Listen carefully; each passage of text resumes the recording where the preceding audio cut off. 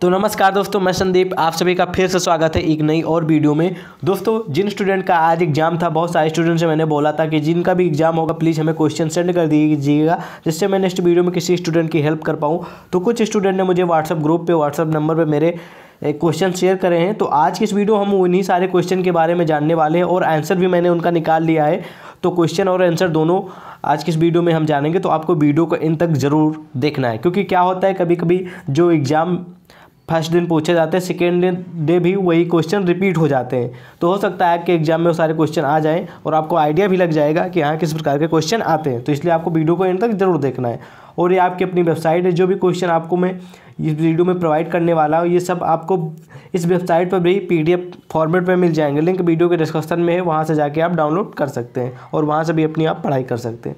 तो आज के क्वेश्चन पे आते हैं। आज के क्वेश्चन में जो पूछा गया था, पहला क्वेश्चन था, निम्न में से हार्ड डिस्क किस प्रकार की मेमोरी है?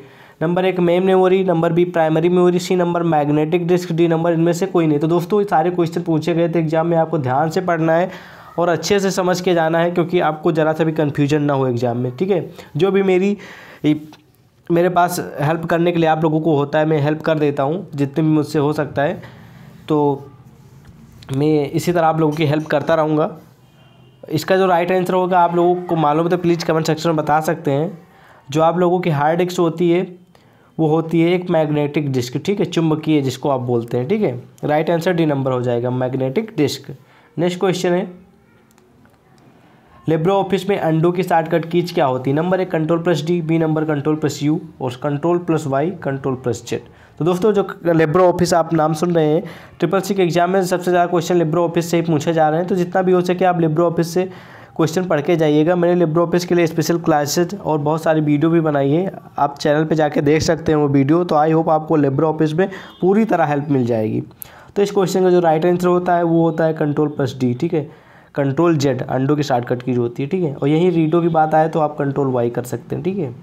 अंडरलाइन के लिए कंट्रोल यू नेक्स्ट क्वेश्चन है।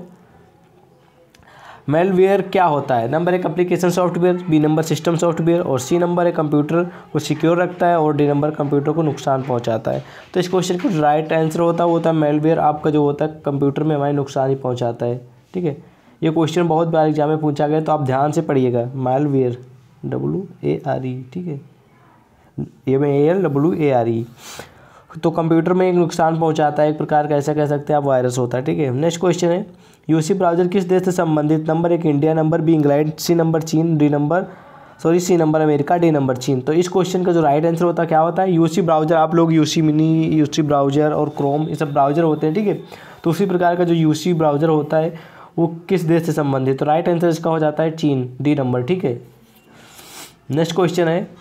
मैं आप लोगों का ज़्यादा टाइम वेस्ट नहीं करना चाहता, मैं जल्दी से करेक्ट आंसर बता दूँगा, जिससे आप लोगों को जल्दी से जल्दी अच्छी नॉलेज मिल सके, क्योंकि आप लोगों के पास टाइम नहीं होगा ज़्यादा। जस्टिफाई करने की शॉर्टकट कीज क्या होती है? कभी कभी एग्ज़ाम में आ जाता है एग्ज़ाम में पूछ ली है पूछा ही गया है क्वेश्चन की जस्टिफाई करने की शॉर्टकट कीज क्या होती है? तो नंबर एक control plus J B number R plus J C number shift plus J D number none तो इस क्वेश्चन का जो राइट आंसर होता है, आप कन्फ्यूज़ मत होइएगा कि मैं क्या सेलेक्ट करूँ कंट्रोल करूँ कि आल्ट करूँ। कि शिफ्ट करूँ इस क्वेश्चन का राइट आंसर होता है A number control plus J ठीक है? जस्टिफाई की। नेक्स्ट क्वेश्चन है आउटलुक के साथ अटैचमेंट में अधिकतम सीमा क्या होती है? जैसे कि आउटलुक में हम कि मैक्सिमम कितने एमबी की फ़ाइल को अटैच कर सकते हैं, ठीक है? तो इस क्वेश्चन का जो राइट आंसर होता है, वो होता है नंबर एक है पचास बी नंबर है दस सी नंबर है बीस और डी नंबर है पंद्रह। तो इस क्वेश्चन का राइट आंसर होता है सी नंबर बीस एम तक का आप कर सकते हैं, ठीक है? अटैचमेंट सॉरी मैंने इसमें फ़िलहाल एम नहीं लिखा तो इसके आगे आप एम जोड़ सकते हैं। इस क्वेश्चन आउट क्वेश्चन का मतलब ये है कि आउट लुक के साथ कितने एमबी की आप अधिकतम फ़ाइल अटैचमेंट कर सकते हैं, ठीक है? तो एम बी बीस एम तक की, ठीक है? नेक्स्ट क्वेश्चन है। क्लक में फार्मूला किससे शुरू होता है? नंबर एक प्लस, बी नंबर है, H, C number dollar, D number none तो आप कंफ्यूज हो रहे होंगे कि फार्मूला जो एक्सेल में हो, चाहे वो क्लक में हो उसमें सबसे फार्मूला तो हमारा इक्वल से स्टार्ट होता है। तो आप सोच रहे होंगे, इसमें ऑप्शन ही नहीं है। तो क्या है? नन हो जाएगा? तो नहीं, बिल्कुल नन नहीं होगा, क्योंकि फार्मूला स्टार्ट करने के लिए आप प्लस का भी यूज़ कर सकते हैं। देखो इक्वल तो आप लगाते हैं इक्वल के बाद जैसे सम लगाना है आपको इक्वल सम ब्रेकर स्टार्ट करते उसके बाद जो भी उसकी रेंज रहती है सिलेक्ट करके आपका आंसर आ जाता है। तो उसकी प्लस इक्वल की जगह अगर आप प्लस भी लगाएँगे, प्लस करके सम लिखेंगे, ठीक है? उसके बाद ब्रेकर स्टार्ट करेंगे रेंज देंगे तो वही सेम आंसर आएगा। क्योंकि प्लस का भी वही वर्क होता है और इक्वल का भी वही वर्क होता है, ठीक है? कन्फ्यूज़ मत होइएगा, आप सोचेंगे कि इक्वल नहीं है तो क्वेश्चन रॉन्ग यानी नन हो जाएगा राइट आंसर डी ऐसा कुछ नहीं, इस क्वेश्चन का राइट आंसर हो जाएगा ए नंबर प्लस ठीक है? नेक्स्ट क्वेश्चन है नेक्स्ट क्वेश्चन है, ठीक है? नेटक्यूट क्या होता है? तो इस क्वेश्चन का जो राइट आंसर होगा, क्या होगा? नंबर एक ऑप्शन है इंटरनेट शिष्टाचार बी नंबर ब्राउज़र और सी नंबर है सर्च इंजन डी नंबर इनमें से कोई नहीं। तो इस क्वेश्चन का जो राइट आंसर होता है दोस्तों, वो होता है ए नंबर ठीक है? इसका राइट आंसर होता है क्या? ए नंबर ठीक है? इंटरनेट शिष्टाचार होता है, एक प्रकार का। नेक्स्ट क्वेश्चन है। लेब्रो ऑफ़िस में स्लाइड बार करने के लिए कौन सी शॉर्टकट कीज होती है या कौन सी शॉर्टकट कीज प्रयोग की जाती है? नंबर एक है control plus shift plus S, B number है alt plus F five, C number है कंट्रोल प्लस एफ़ फाइव और डी नंबर है नन। तो इस क्वेश्चन का जो राइट आंसर होता है दोस्तों, वो होता है C number control plus F five. चलिए नेक्स्ट क्वेश्चन की ओर बढ़ते हैं। नेक्स्ट क्वेश्चन ये है, आई पी वी फोर कितने बिट का होता है? नंबर एक एक सौ उनचास, बी नंबर सोलह, सी नंबर है एक सौ अट्ठाईस, डी नंबर बत्तीस। तो जो आप लोगों का आई पी वी फोर या आई पी वी सिक्स ऐसा भी क्वेश्चन आ सकता है, क्योंकि आई पी वी फोर भी होता है और सिक्स भी होता है। तो जो फोर होता है, वो होता है बत्तीस बिट का, ठीक है? राइट आंसर इसका हो जाएगा डी नंबर नेक्स्ट क्वेश्चन है।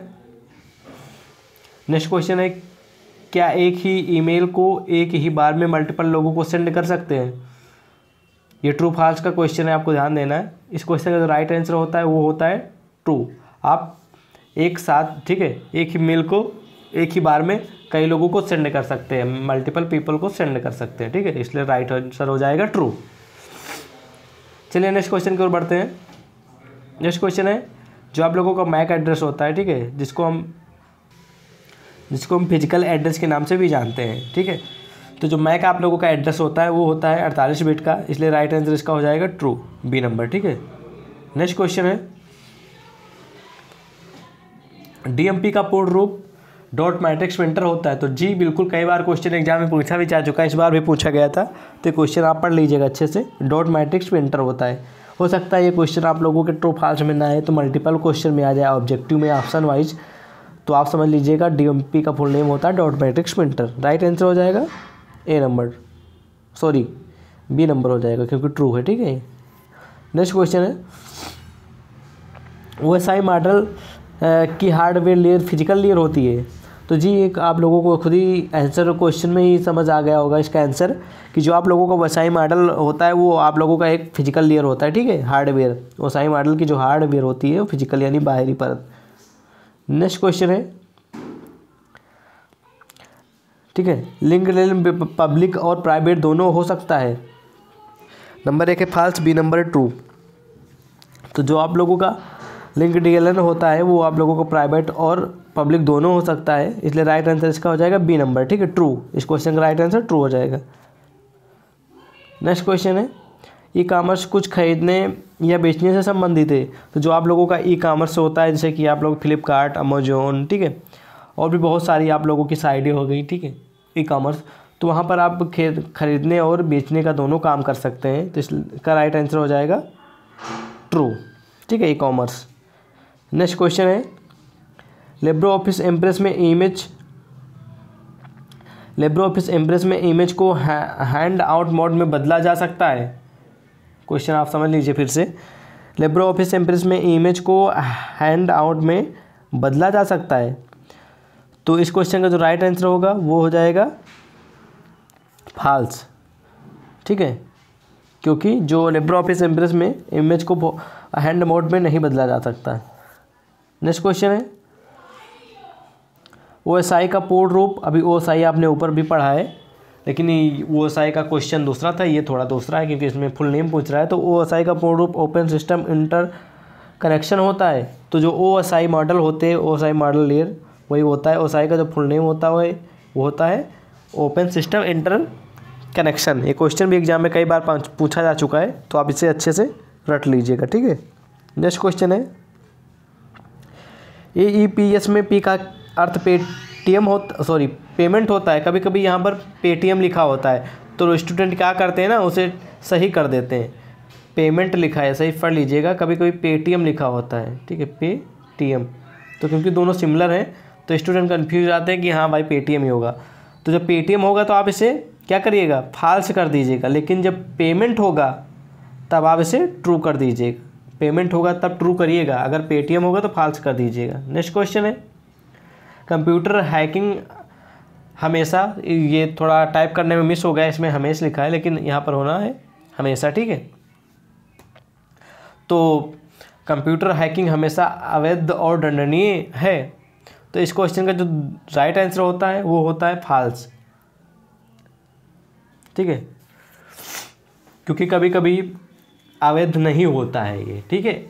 क्योंकि कभी कभी लोग जब जानबूझ के कोई काम कर देते हैं, ठीक है? तो वो तो हो जाता है, लेकिन कभी कभी ये लीगली केस में भी यूज़ किया जाता है। तो वहाँ पर ये क्वेश्चन मतलब उसी से रिलेटेड है। तो कंप्यूटर हैंकिंग हमेशा अवैध और दंडनीय है। तो फाल्स है ठीक है? तो दोस्तों, आज की इस वीडियो में बस इतने क्वेश्चन स्टूडेंट ने शेयर किए थे, इसलिए मैंने आप लोगों को इतने वीडियो इतने वीडियो बना के आप लोगों को मैंने ये बताने की कोशिश की है क्वेश्चनों के। आई होप आपको ये क्वेश्चन अच्छे लगे हो तो वीडियो को लाइक करिएगा। अगर आप कुछ पूछना चाह रहे हैं तो बेशक कमेंट सेक्शन में पूछ सकते हैं।